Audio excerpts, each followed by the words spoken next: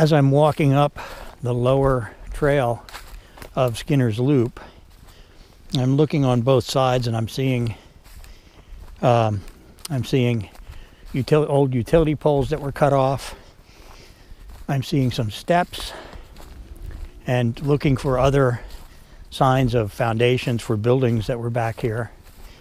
Uh, I believe that there was at least one farm back here and that uh, a woman who grew up here on her grandparents' farm came back from California and was able to find the steps that were outside of her grandparents' farm. So we're in an area where the Spring Creek ran alongside, and there were farms and homes and bungalows along the trail here.